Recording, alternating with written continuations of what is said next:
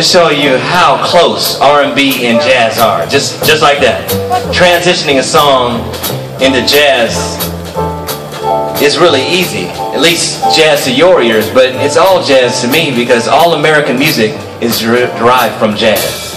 Yes, even Britney Spears is derived from jazz. With that, I'm sorry.